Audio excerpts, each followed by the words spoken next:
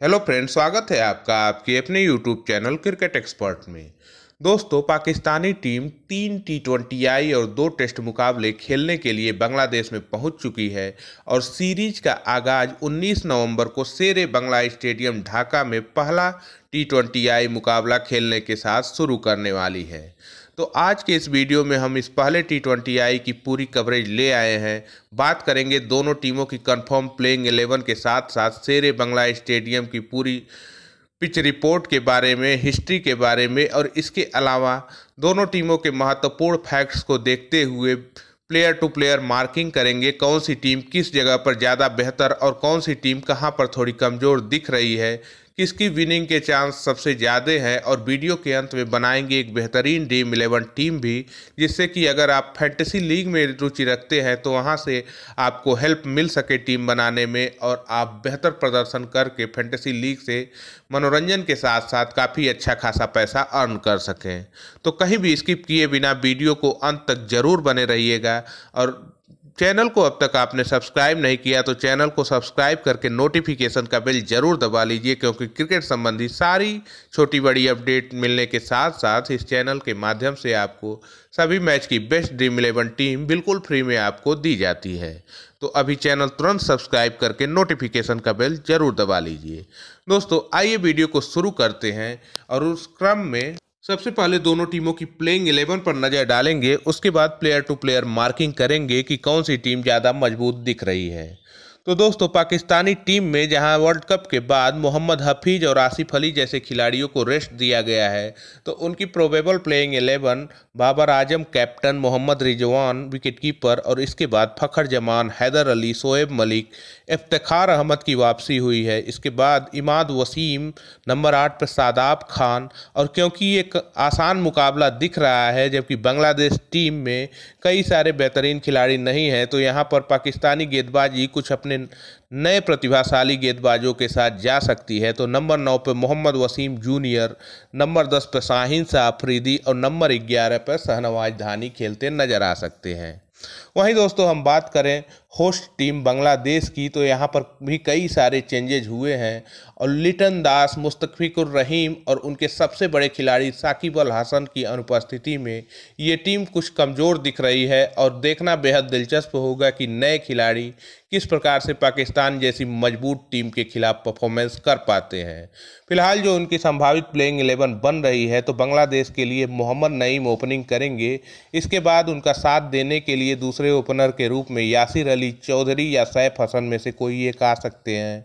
Number तीन पर नजमुल हुसैन संतो, जो मोस्टली टेस्ट मैचेज और कुछ ओडीआई में खेलते नज़र आते हैं, टी ट्वेंटी में वापसी हुई है।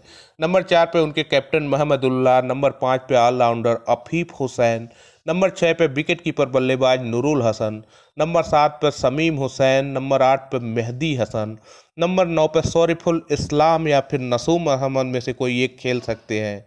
नंबर दस पर तस्कीन अहमद और नंबर ग्यारह पर उनके अनुभवी तेज गेंदबाज मुस्तफ़िकुर रहमान खेलते नज़र आ सकते हैं। दोस्तों आइए दोनों टीमों की प्लेयर टू प्लेयर मार्किंग करने, करेंगे। इसके बाद शेरे बंगला स्टेडियम की कुछ रिपोर्ट देखेंगे। कैसा खेलने वाली है? पहले टी ट्वेंटी आई के दौरान ये पिच तो आइए वीडियो में पूरी तरह से बने रहिए।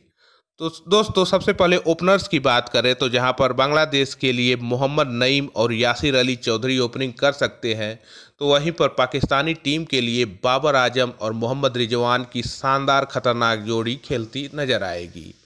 दोस्तों, निश्चित तौर पर पाकिस्तानी ओपनर्स काफ़ी खतरनाक दिख रहे हैं और लगातार कंसिस्टेंटली परफॉर्मेंस करते आ रहे हैं। वर्ल्ड कप में भी इनका रिकॉर्ड ओवरऑल सभी टीमों के ओपनर्स से ज़्यादा बेहतर था और दोनों ही बल्लेबाज काफ़ी कंसिस्टेंट हैं तो वहीं बांग्लादेश की बात करें तो बांग्लादेश में मोहम्मद नईम लेफ़्ट हैंडर और राइट हैंडर चौधरी दोनों मिल के कैसा परफॉर्मेंस करते हैं, ये देखने वाली बात होगी। हालाँकि मोहम्मद नईम कुछ लंबे समय से खेलते ज़रूर आ रहे हैं, लेकिन इनकी इनकन्सिस्टेंसी बांग्लादेश के लिए हेडक रहती है। हालाँकि एक बार सेट होने के बाद 20 के बाद इनको हाफ़ सेंचुरी बनाने का कन्वर्जन रेट काफ़ी शानदार है और एक बार सेट होने के बाद बड़े आराम से 60-70 का स्कोर कर जाते हैं। लेकिन देखना बेहद दिलचस्प होगा, पाकिस्तान जैसी शानदार गेंदबाजी, अटैक और बांग्लादेश जैसी स्लो पिचेज पर इनका परफॉर्मेंस कैसा रहने वाला है। वहीं दो, दूसरे ओपनर की बात करें तो यासिर अली चौधरी डोमेस्टिक क्रिकेट में ठीक ठाक प्रदर्शन करते आए हैं, लेकिन अभी भी ये इंटरनेशनल क्रिकेट में उनका अपना छाप छोड़ना बाकी है। तो मिडिल आर्डर की बात करें तो जहाँ पर बांग्लादेश के लिए नजमुल्ला हुसैन, शांतो, मोहम्मदुल्ला, अफीफ हुसैन और नुरुल हसन जैसे खिलाड़ी नज़र आ रहे हैं तो वहीं पाकिस्तान के लिए फ़खर जमान के बाद हैदर अली जो हार्ड हिटर हैं, इसके बाद ऑलराउंडर शोएब मलिक और इफ्तार अहमद नज़र आ रहे हैं। तो निश्चित तौर पर यहाँ भी पाकिस्तानी टीम काफ़ी बेहतर नज़र आ रही है और फ़खर जमान जो लास्ट मैच में अपने पाकिस्तान की सेमीफाइनल मुकाबले में शानदार फिफ्टी करके टच में आ गए हैं तो हार्ड हिटिंग बल्लेबाज हैदर अली भी काफ़ी बेहतरीन प्रदर्शन करते हैं। वहीं बात करें हम इफ्तार अहमद और शोएब मलिक तो अहम मौके पर शानदार प्रदर्शन काफ़ी लंबे समय से करते आ रहे हैं। तो वहीं बांग्लादेश के लिए थोड़ी बहुत जो उम्मीद दिख रही है, उनके कैप्टन मोहम्मदुल्लाह की तरफ़ से दिख रही है। हालाँकि नजमुल हुसैन सांतु भी टेक्निकली साउंड प्लेयर हैं और ये बढ़िया कर सकते हैं, लेकिन अफीफ हुसैन और नरुल हसन काफ़ी कुछ देखना दिलचस्प होगा कि कैसा करते हैं। बहुत अच्छा करते नहीं आ रहे हैं पिछले काफ़ी समय से। वहीं दोस्तों ऑलराउंडर्स की बात करें तो जहाँ पर बांग्लादेश के लिए मोहम्मदुल्ला अफीफ हुसैन, समीम हुसैन और मेहदी हसन नज़र आ रहे हैं और निश्चित तौर पर यहाँ पर साकिब अल हसन एक बड़ा फैक्टर साबित हो सकते थे और अगर प्लेइंग एलेवन का हिस्सा रहते तो निश्चित तौर पर बांग्लादेशी टीम यहाँ पर चैलेंज पेश कर सकती थी पाकिस्तान के खिलाफ, क्योंकि साकिब की मदद से ही बांग्लादेश ने टी ट्वेंटी वर्ल्ड कप से ठीक पहले ऑस्ट्रेलिया को अपने घर में धूल चटाई थी, लेकिन यहाँ पर ये बहुत बड़ा फैक्टर है। साकिब के साथ साथ लिटन दास और मुस्तफ़िकुर रहीम जैसे स्टार बल्लेबाज भी बांग्लादेश के पास नहीं हैं। तो इन चार ऑलराउंडर में आप देखें तो यहाँ पर केवल मोहम्मदुल्ला ही ऐसा नाम नज़र आ रहा है जो थोड़ी बहुत बेहतरीन काम कर सकते हैं। तो वहीं हम बात करें पाकिस्तानी टीम के लिए तो पाकिस्तान में शोएब मलिक इफ्तार अहमद, इमाद, वसीम और सादाब खान सभी ज़रूरत पड़ने पर बढ़िया काम करते आए हैं। हालाँकि इफ्तार अहमद कुछ समय से टीम से बाहर ज़रूर चल रहे हैं, लेकिन वहीं हम बात करें शोएब मलिक, जिन्होंने टी ट्वेंटी में मात्र अट्ठारह गेंदों में फिफ्टी लगा के हल्का मचाया था टी ट्वेंटी वर्ल्ड कप में। तो वहीं लास्ट मुकाबले में सेमीफाइनल में सादाब खान की शानदार चार विकेट के साथ साथ इमाद वसीम की नपी तुली गेंदबाजी और पावर हिटिंग की वजह से पाकिस्तानी टीम यहाँ पर भी मज़बूत नज़र आ रही है। दोस्तों, गेंदबाजी डिपार्टमेंट में बात करें तो यहाँ पर पाकिस्तान के लिए मोहम्मद वसीम जूनियर, शाहिन शाह अफरीदी, शाहनवाज धानी साहब सादाब खान और इमाद वसीम तो ठीक ठाक बैलेंस गेंदबाजी है। वहीं बांग्लादेश के लिए कुछ ज़्यादातर चेंज नहीं है रेगुलर गेंदबाजी से। मुस्तफ़िजुर रहमान, तस्कीन अहमद, शोरफुल इस्लाम, मेहदी हसन। तो ये गेंदबाज भी काफ़ी लंबे समय से ठीक ठाक काम करते नज़र आ रहे हैं। निश्चित तौर पर यहाँ भी साकिब की कमी खल रही है। जो स्टार गेंदबाज और स्टार बल्लेबाज हैं, दोनों क्षेत्रों में काफ़ी शानदार काम करते आए हैं। लेकिन यहाँ पर अगर हम एक हद तक थोड़ा सा चैलेंजिंग देख भी सकें। बांग्लादेश गेंदबाजी की तो बाकी जगहों पर काफ़ी कमज़ोर नज़र आ रही है।